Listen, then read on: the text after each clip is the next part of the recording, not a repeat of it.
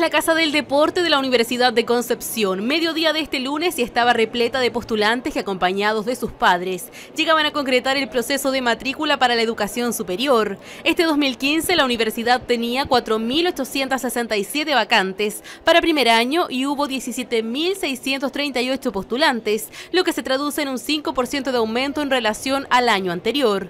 Como ya es tradición, muchos jóvenes llegan de otras localidades, atraídos por el prestigio de la Casa de Estudios estudios penquista. Yo vengo de Purén, de la novena región, pero hice mi media en Los Ángeles. Y elegí venirme acá porque igual está cerca de mi casa relativamente, o sea, tomo un bus y llego. Eh, es bueno, en el caso del campus central de la Universidad de Concepción, con 1.298 interesados, medicina fue la carrera más requerida. La siguen también en el área de la salud, enfermería y obstetricia y puericultura, mientras que psicología y derecho fueron las más requeridas en el campo de las humanidades. Paralelo al proceso de matrículas, también se puede postular a las becas internas de la UDEC y también a las otorgadas por el Mineduc. Estamos en la etapa, tal como lo estableció el Ministerio de Educación, estamos en la etapa de recepcionar los antecedentes de todos los alumnos que postularon a las becas y los créditos. Entonces, una de las exigencias establecidas por el Ministerio es que ellos tienen ahora que presentar sus antecedentes en la universidad donde se están matriculando.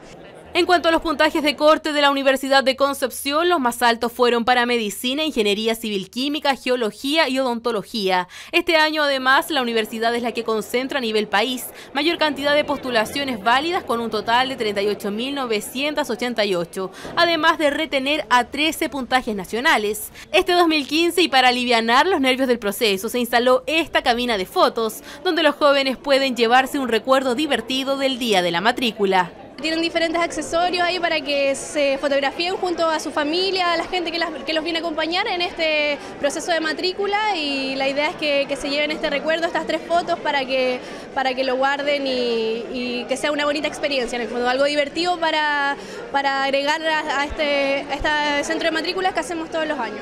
El proceso de matrículas se extiende hasta el miércoles a las 14 horas.